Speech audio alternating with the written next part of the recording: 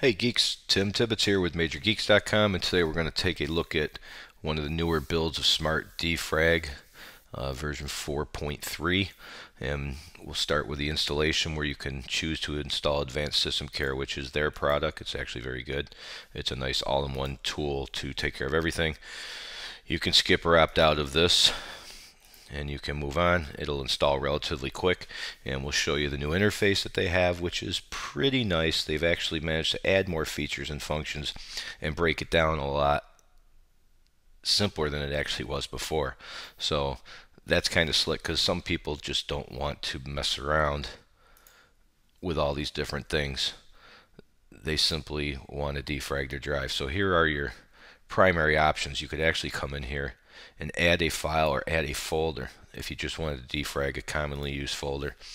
Your apps, you can come in here and look at the modern apps and you can come into your optimize apps which I don't want to do too much with because if you remember I'm running an SSD hard drive so you're actually for me I'm doing more damage than anything else. Guess I shouldn't have closed it. So we go back you have your local disk you can defrag. Now you have your automatic defrag and then you have your settings. So once you come down into your settings, you can decide how and when to run it, whether you want to schedule it or hit your boot time defragment, which I'm a big fan of because that will defragment everything on your drive. You can't necessarily defrag all your files if they're in use, it can't move them. So if you do a boot time defrag, at least every once in a while, um, I might, for example, jump this to every two weeks. I'm not a fan of defragmenting much more than that personally. You can clean out your junk files, which is nice before you do it. So what's the point of moving around files that you don't need anyway? A lot of great settings in here.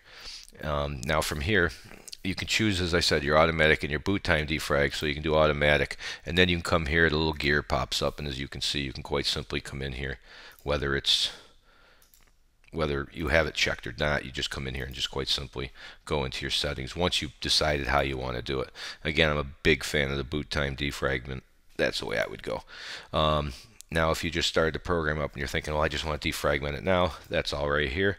Defrag, dig, defrag and fast optimize, defrag and fully optimize, and defrag and prioritize files, which is going to take a little while. But if it's been a while since you've defragmented, I would clean your drive run that and go get a cup of coffee or take a nap and let it do its thing. It's it's worth letting it run. Your game defrag's kind of slick, so you could simply just click on this, and if you had games in a folder in a game somewhere, you just grab that folder. Like some of these games, like World of Warcraft, are so big that you can actually individually defragment just that when you need it to. So um, once again, everything else in here in the tabs we're kind of repeating.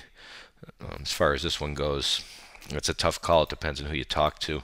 If you turn on boot time defrag, I'm trying to decide for you. I don't see a problem with checking them all, but you can also just go with with the default as well. So if you're not sure, and your Action Center, which of course pretty much is more links to their other programs, the IOBIT Malware Fighter, IOBIT Uninstaller, which I swear by, uh, Driver Booster, which I swear by, they're on my machine, and of course Advanced System Care, which you had a chance to install when you come in, and Android users can also get their paws on Android security. So once again, everything else can be found up here, but it, in the settings, check for update. There's your user manual. You never know when you might need that. You can pretty much go through all of that again in any other tab in here. So very, very easy to use if you stick to the front right here with the analyze local disk, modern apps. Just decide what you want to do. Worst case scenario, if you're thinking, well, what do I want to do?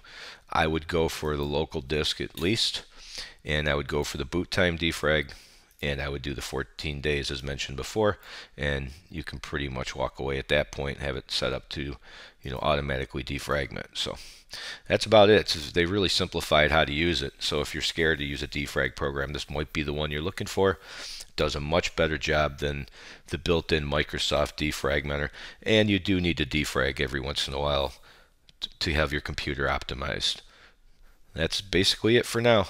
Thanks for watching as always, and we will see you next time.